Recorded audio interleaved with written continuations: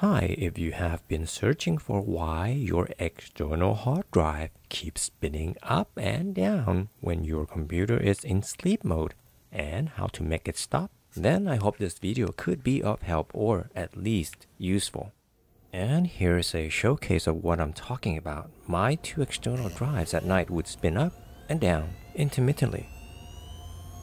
The louder of the two is my 14 terabyte one.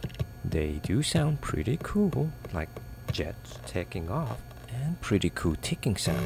But it's not what I want to hear when my computer is asleep. Now don't be alarmed, I did put the microphone up real close for you to hear. I'm not saying this is a perfect solution, but let's take a look. For example, you have a computer and possibly two external drives. And you got an outlet power strip with an on-off light switch and I assume you know where this is going. So you plug in their AC adapters directly into the power strip with their USB data transmission cables into the computer. Then when you're done using the computer, you would eject the two drives properly and listen for them to spin down so that you could turn off the power strip. Finally then, you would put your computer in sleep mode and you're done. The variation of this is to plug their transmission cables into a hub or a dock that may or may not have an AC adapter. My setup is exactly this with additional external SSD drive that can also be switched off.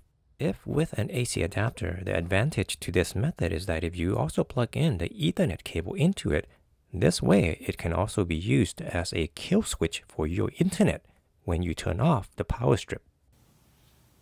So have a look in real time. This is what I do.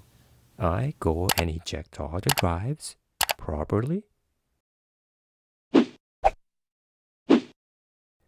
Then I turn off the power strip.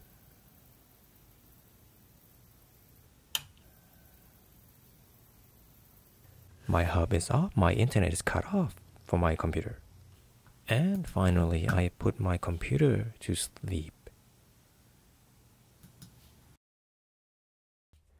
Then when it's time for me to wake up my computer from sleep and log in, I just switch on the power strip right after.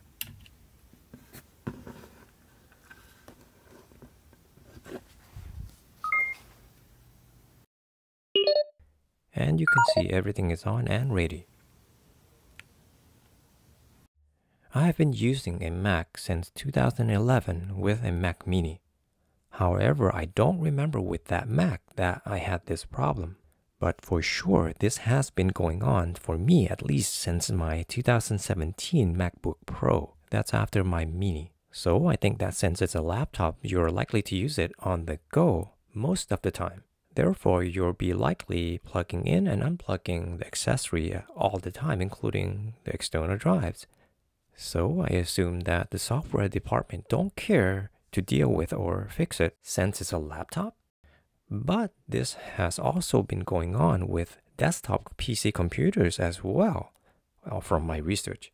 Now, since at least with my 2017 MacBook Pro, my external drives have been spinning. I have another one that I am selling right now until now that I got the 14 terabyte one that you saw earlier. I'm not risking it this time. 14 terabytes, that's a lot. Furthermore, it has been annoying at night. Yes, they have been spinning night after night as long as I can remember, at least since 2017. But now, mm, no more.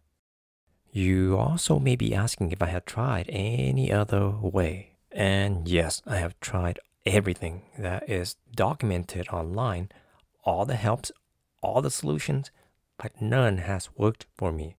So I resort to this method that you see here on this video.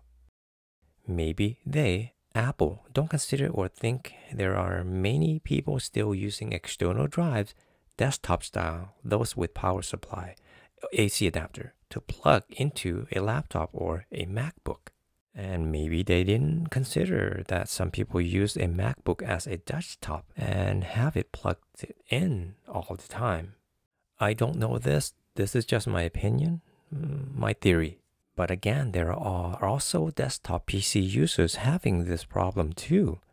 But again, I don't know anything. But I do want to say thank you for watching. This is all I got. Hope you come back again.